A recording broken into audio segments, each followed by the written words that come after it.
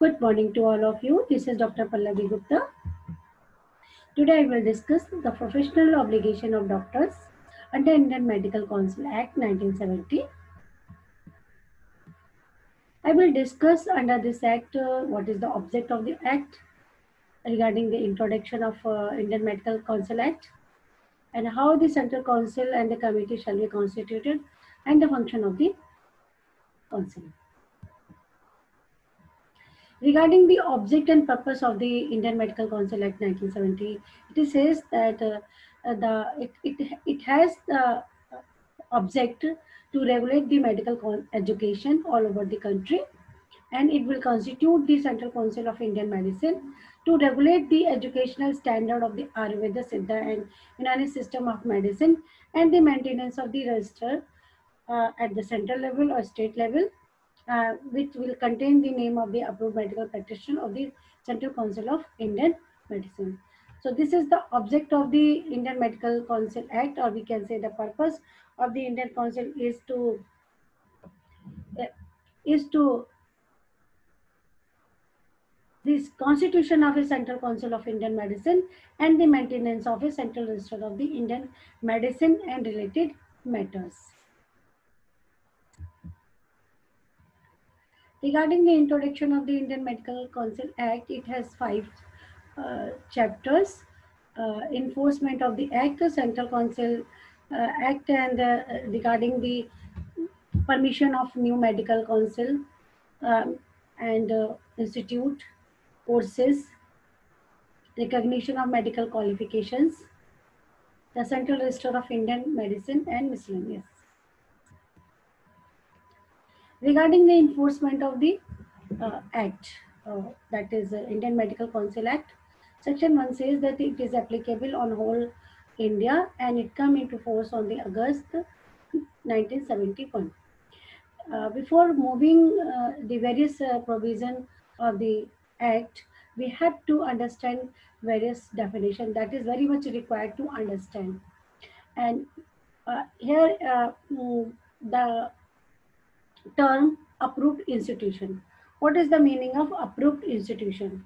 Approved institution means a teaching institution, health center or hospitals recognized by a university or board as an institution in which a person may undergo the training, if any, required for his course of study before the award of any medical qualification to him means approved institution gives the degree. And we have to understand the meaning of board as well. Board means a board, council, examination body or faculty of Indian medicine constituted by the state government under any law and the registration of the practitioner of Indian medicine. So if we see the uh, this logo that is known as a Tamil Nadu Medical Council. It will come under the board. And Central Council. Central Council means the Central Council of Indian Medicine constituted under Section 3. If you see this uh, logo, it is talking about the Central Council that is known as a Medical Council of India. Regarding the Central Register of the Indian Medicine, it is maintained by the Central Council under this Act. Then Indian Medicine. Indian Medicine means the system of Indian medicine, which is known as a Ashtang Ayurveda, Siddha or Unani. Such modern advances as the central government uh, uh, uh, with the central council may declare time to time. So uh, at present, uh, uh, th there are three medicine known as a Ashtanga Ayurveda, Siddha are coming under the Indian medicine. Medical institutions means any institution within India or uh, outside India which grant degree, diploma or licenses in Indian medicine. Recognize medical qualifications means any of the medical qualification including postgraduate medical qualification of Indian medicine included in the second, third, and fourth schedule of this act. The state register of Indian medicine means a register maintained under any law for the time being in any state regulating the registration of practitioner of Indian medicine. So these uh, definition is uh, uh, very important to know, although there are several other definition, but these are, so if we see this logo, uh, it is saying about the board, this is board, this is board, and this is council at central level. Regarding the constitution of the council and committees under this act, so section 3 to 13 are involved for the constitution of the council and committees. Under section 3, uh, committee shall be constituted at central level and the central government constitute uh, this committee. If we see this chart, uh, the head of the uh, council shall be president who will be elected when and uh, there shall be several committees as well. The committee will be for Ayurveda, Siddha and Unani and other committees also. And this committee will comprise the member of the council and the chairman of this committee will be the vice president who will be the elected one. This committee will comprises uh, of uh, the members from the Ayurveda, Siddha and Unani who are who uh, will be enrolled or who are enrolled in the state register from the there shall be representation uh, from the universities and a member nominated by the central government so these person will uh, will comprises as a member of the council. Further it says that uh, the uh, central council shall be incorporate body. Means it is a statutory body it will have all the feature of the company. Uh, uh, it is further said that uh,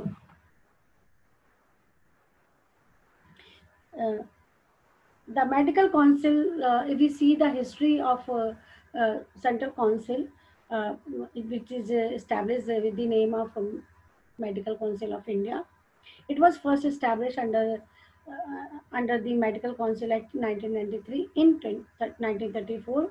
The council was later re reconstituted under Medical Council Act 1956 and that replaced the earlier act and further reconstituted in 1971 under this act. Following this, uh, the council was superseded by the President of India recently and its function is instructed to a board of governor in 2011. Again, government uh, of India has given the notification, the council reconstituted and functioning currently. If we see the uh, recent development, the Supreme Court has allowed in 2017 uh, and directed the central government to replace the medical council and with the help of five specialized doctors to monitor the medical education system in India from July 2017. Now, Niti Aayog, earlier it was known as a planning commission. The Niti Aayog has recommended uh, for the replacement of Medical Council of India with National Medical Commission. The decision has been approved by most of the states. After its approval by the Prime Minister and uh, National Medical Commission will was also passed by the Parliament and soon it will uh, replace the Medical Council of India. Once the uh, National Medical Commission comes into uh, come into force, the Medical Council of India will automatically get dissolved and uh, the nearly 63 year old uh, medical council will stand abolished. This is the recent development that uh, uh, Medical Council of India may replace with National Medical Commission.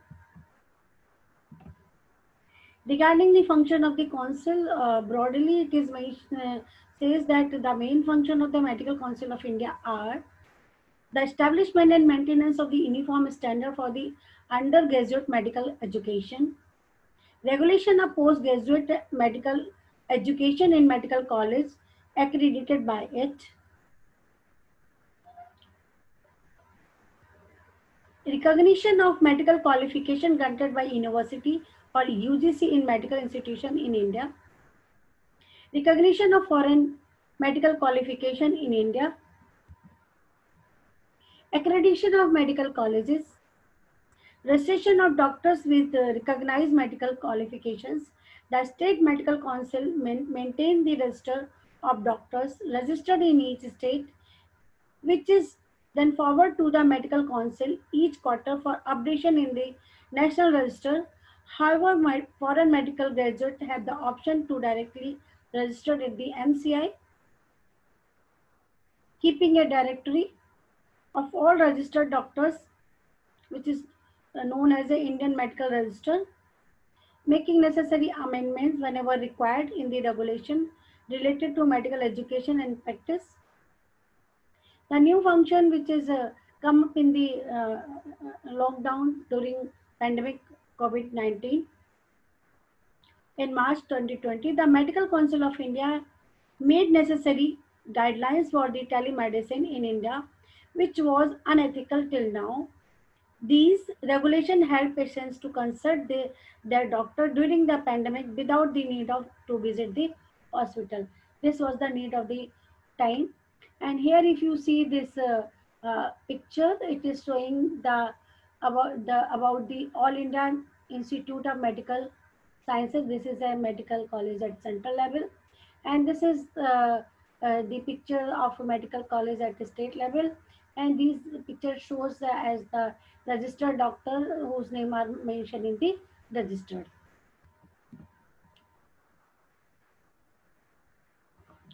Regarding the professional obligation under this act, uh, we'll discuss first uh, permission for new medical college and course, etc. We will discuss under this uh, under this uh, section 13A and 13B. It is says that prior permission of the central government is required to establish medical college, a new medical college, or to start a, a new course of study without the prior permission of the central government, it is not possible. It is not valid one. So um, uh, section 13A says that uh, no person shall establish a medical college or no medical college shall open a new or higher course of study or training or it will increase its admission capacity in any course or study or training except with the previous permission of the central government obtained in accordance with the provision of this section. In this section says prior permission of the central government is required. This section also so, uh, says about the procedure, a scheme for the new college or the course or the to increase the seats uh, in admission shall be submitted to the central government central government will uh, share will submit this uh, scheme to the council for consideration. Council will give due consideration uh, uh by considering several factors which is mentioned under subclause 8 of section 13a and will give the recommendation accordingly. Let us discuss what factors has to due consider need consideration of the council uh, that is, uh, let us take uh, uh, the first one, that is the minimum standard of, it's not dental education, minimum standard of education. By mistake, it is mentioned in dental. Educate resources, staff, equipment, or other facilities, etc. And uh, further in detail, we can say the central council, while making its recommendation, shall have due record to the following factors. Whether the proposed medical college would be in a position to offer the minimum standard of medical education.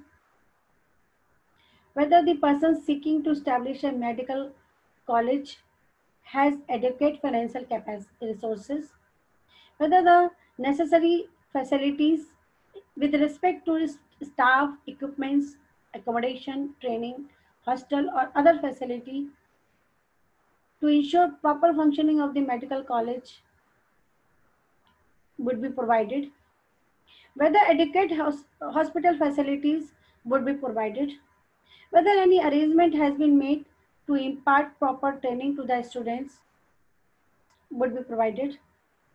The requirement of manpower in the field of practice of Indian medicine in the college or any other factor which is required to establish new college uh, to increase the seats for admission or to start new course. If uh, a scheme uh, is uh, fulfill all these requirements, then the recommendation shall be made accordingly, will be submitted to the central government. Central government may approve the scheme or disapprove this scheme after giving the reasonable opportunity of here, it depends.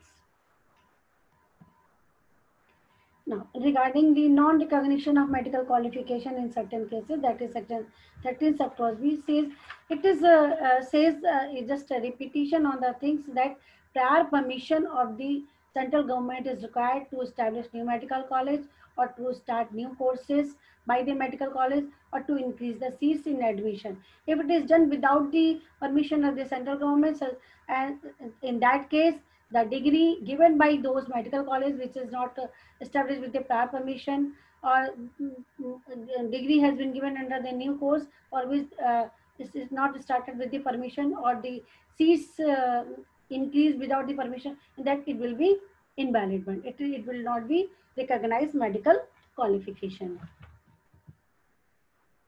Recognition of medical qualification uh, for this uh, um, section 14 to 22, we will discuss uh, the first point, uh, recognition of medical qualification granted by certain medical institution in India.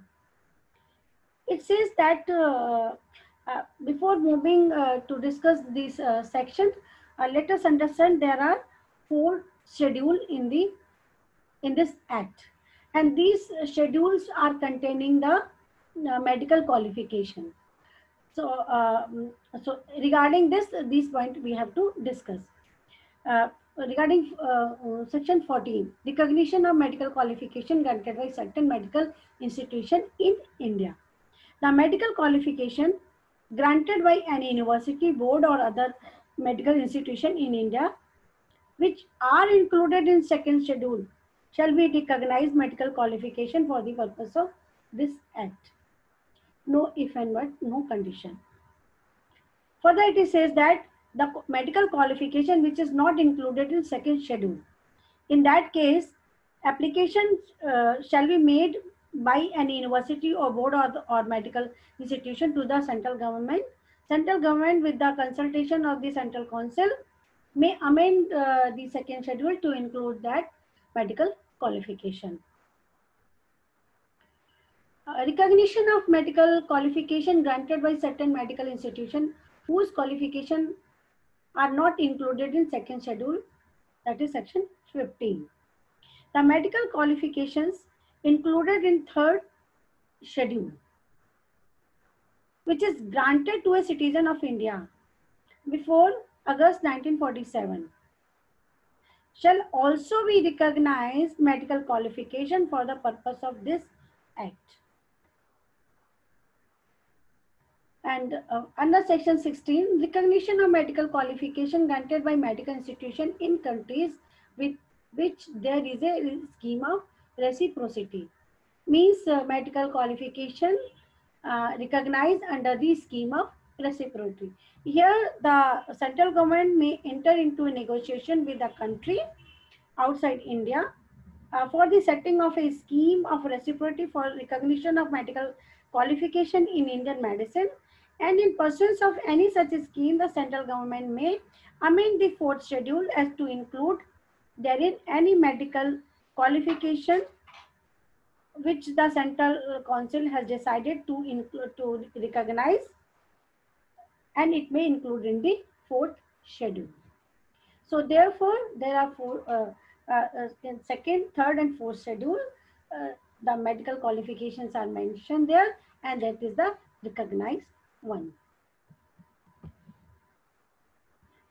The rights of the person possessing Qualification included in second, third and fourth schedule to be enrolled.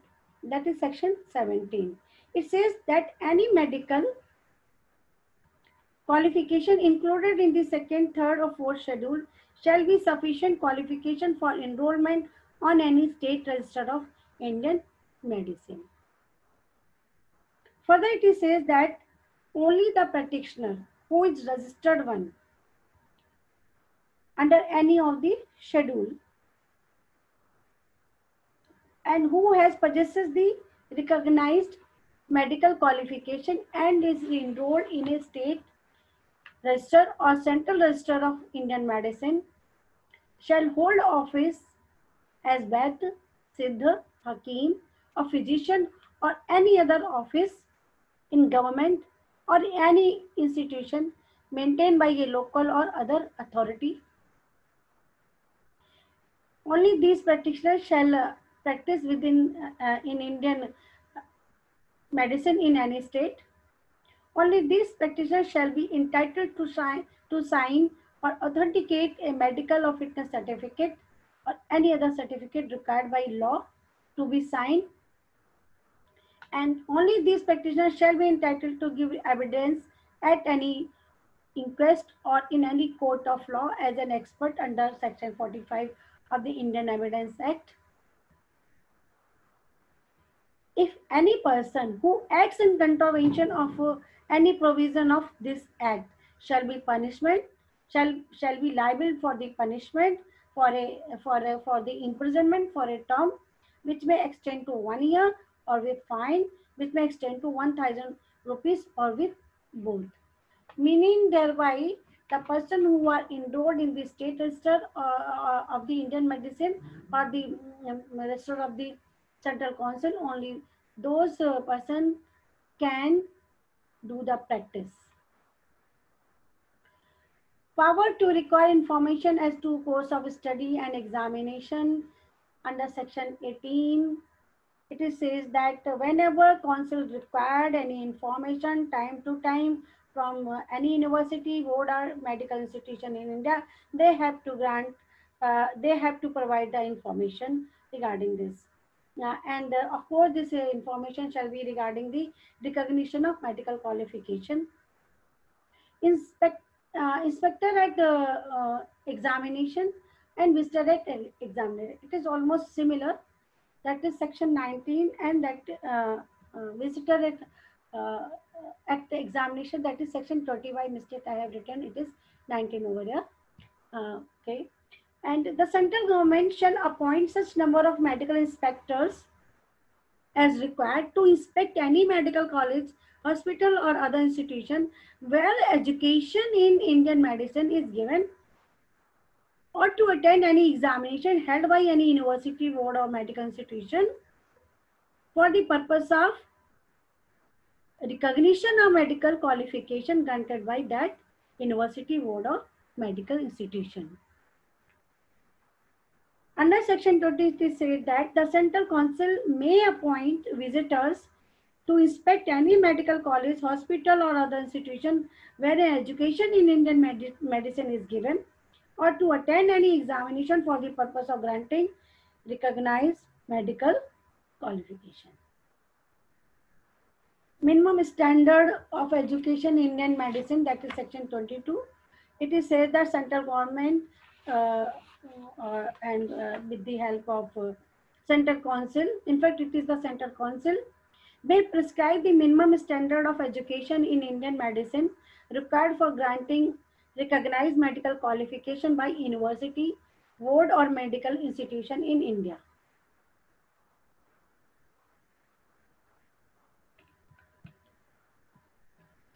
Withdrawal of recognition. That is, that is section 21 uh, on the report of the inspector who or the visitor who were appointed by the central council.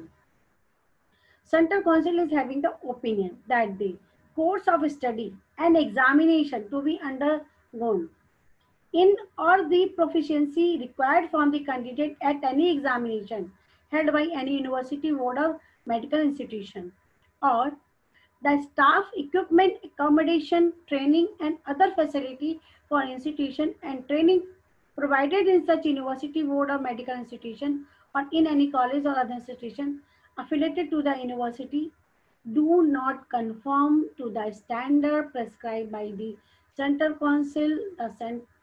The council shall make a representation to the central government. Central government will give this representation to the state government. State government shall give the representation to the concerned board, university, or the medical institution, and after that, recognition may be withdrawal if it is thinks it should not be there. Meaning thereby the standard which are fixed by the council, it has to be observed by every university, board or medical institution who are imparting or who are granting medical education or recognized degree.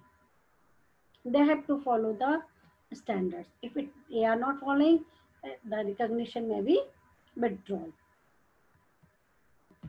Regarding the Central Register of Indian Medicine, uh, this uh, will uh, we discuss under section 23 to 31 and it is the primary function of the uh, medical council that the central council shall maintain a register of, of party, uh, practitioner in separate part for each of that the system of Indian medicine to be known as a central register of Indian medicine which shall contain the names of all persons who are enrolled on any state register of Indian medicine and who possesses any of the recognized medical qualification mentioned under part second, third, and fourth.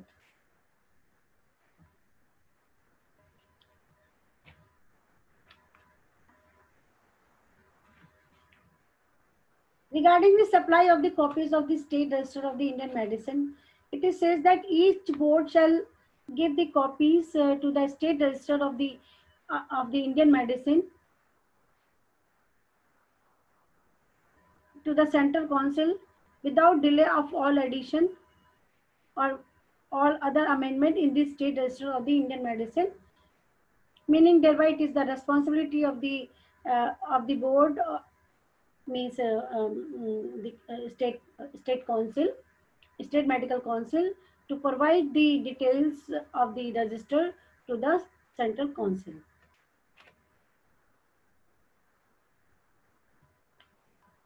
This provision is, uh, is, is required because uh, um, before enactment of this act, there were several state medical council who were established before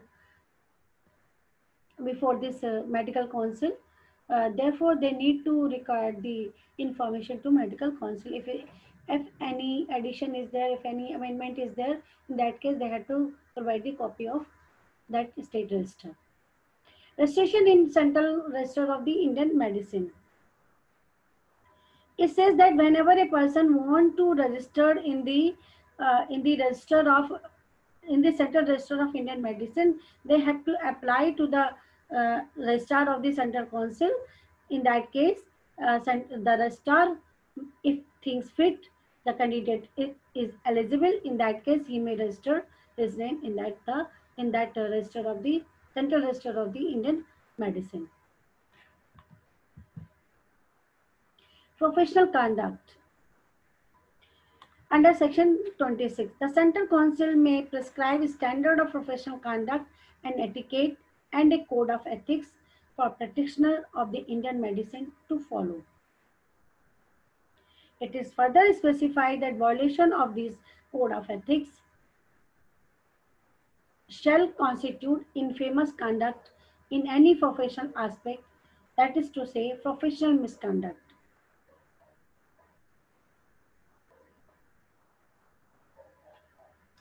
Removal of names from Central Register of Indian Medicine if name of any practitioner who was enrolled in the state register of Indian medicine is removed under any law, the, the central council shall direct the removal of the, that person from the central register of Indian medicine also.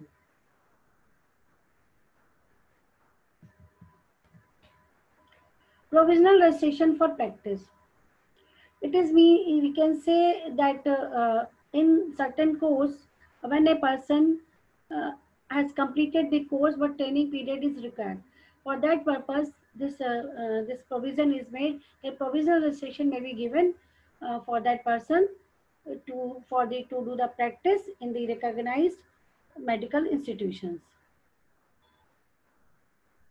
Privilege of person who are enrolled on the Central Register of Indian Medicine, that is section 29.